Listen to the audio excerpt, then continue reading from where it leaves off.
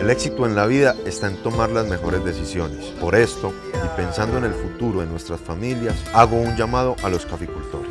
Tenemos una cita con la democracia cafetera. Unidos debemos elegir a nuestros próximos líderes. Aquellos que guiarán el rumbo de la caficultura colombiana. Conozcámoslos, oigamos y analicemos sus propuestas. Solo así podremos seleccionar a los mejores. Con nuestro voto demostremos por qué somos un gremio único y excepcional. Porque mi voto es mi voz. Yo decido y participo.